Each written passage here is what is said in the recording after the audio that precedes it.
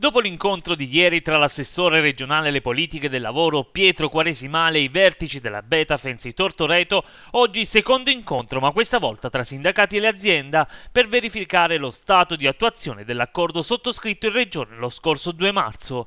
Ricordiamo che la Beta Fenzi di Tortoreto è stata al centro di un'avvertenza regionale partita con la dichiarazione di chiusura dello stabilimento di Tortoreto e terminata con un'intesa che salva lo stabilimento e avvia un'azione di ristrutturazione con ricadute su occupazione e lavoro. Segretario Boccanera è stato un lungo incontro, però poi alla fine la cosa più importante è che siete riusciti a portare l'accordo a casa. Sì, è stato un incontro abbastanza sofferto, su molti punti non eravamo d'accordo, ci sono stati inizi, anche inizi di rottura di tavolo e comunque alla fine siamo riusciti a trovare la quadra, siamo molto soddisfatti sull'accordo, siamo soddisfatti anche perché siamo riusciti a mettere in sicurezza per un anno i lavoratori e quindi non verrà licenziato nessuno di fatto.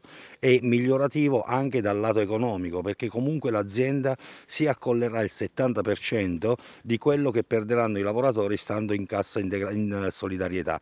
E quindi un ottimo accordo, quello di meglio non potevamo fare. Ovviamente è un accordo basato solo sull'ammortizzatore sociale, tra l'altro abbiamo messo alla fine anche che eh, il prossimo anno l'azienda si renderà disponibile anche a ridiscutere un'ulteriore proroga se sarà necessaria, quindi di fatto possiamo anche sperare di continuare con la solidarietà.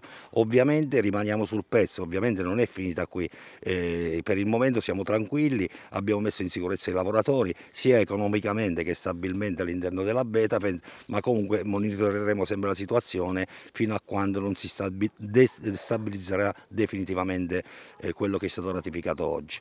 C'è stato un grande lavoro da parte dei sindacati, dei lavoratori, ma anche del mondo della politica. Sì, eh, devo dire che comunque in sinergia con la Regione Abruzzo siamo riusciti a fare un ottimo lavoro. Ovviamente eh, non dimentichiamo la lotta dei lavoratori, perché dal 28 di luglio i lavoratori sono stati sempre presenti, sono stati sempre coesi, sempre compatti e hanno seguito le indicazioni delle rappresentanti sindacali sino ad arrivare oggi eh, a questa conclusione storica che per, sia per la Beta pensi che per il territorio, perché penso che un accordo del genere eh, in poche altre realtà sia stato fatto.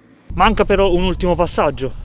Sì, lunedì ratificheremo quanto è accaduto oggi, ovviamente con il voto dei lavoratori che si riuniranno in un'assemblea, un'unica assemblea lunedì mattina e i lavoratori ci daranno il via se firmare o meno l'accordo. Eh, sicuramente non ci sarà problema, ma comunque la parola spetta sempre ai lavoratori che sono la parte interessata.